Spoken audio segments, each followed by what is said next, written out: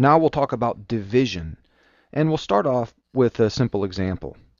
Let's suppose we have four people. And here they are. And we're going to divide up some marbles between these four people.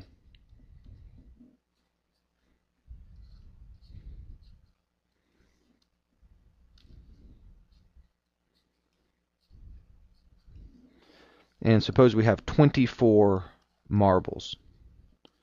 And we want to divide them up evenly. And we'll do this the same way we might uh, deal cards. You give one to one person, then one to another, and then one to another, and so on. And that makes sure the cards are divided as evenly as possible. We can do the same thing here. I'll just draw the marbles as little balls. We'll give one to this person, and then one to this one, and one to this one, and so on. That's four. And we'll do it again. Now each person has two.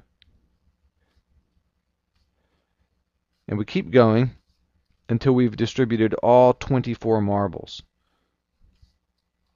And when we do this, you can probably see that each person ends up with exactly six marbles. They divide evenly in this case.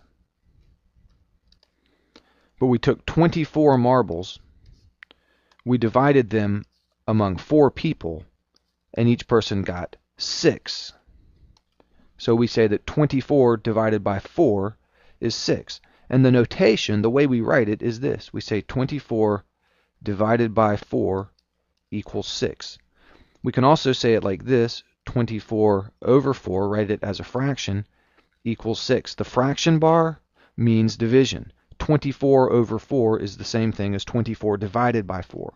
And we can also write it like this, 24 divided by 4, and when we work it out we get a 6.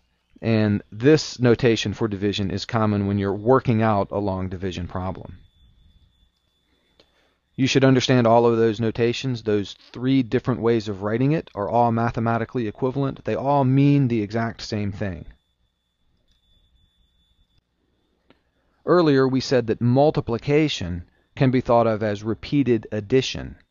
In the same way, division can be thought of as repeated subtraction.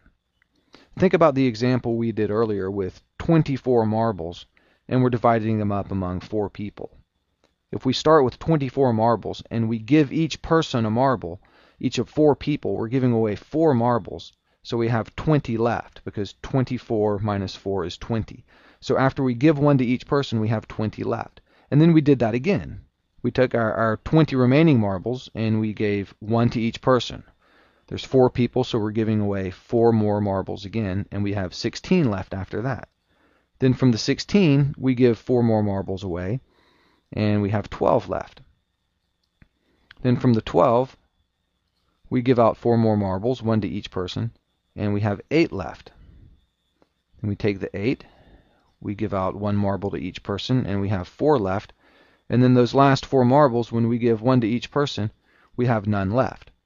So you see that we can subtract 4 here a total of 6 times. And that's what this means. 24 divided by 4 equals 6.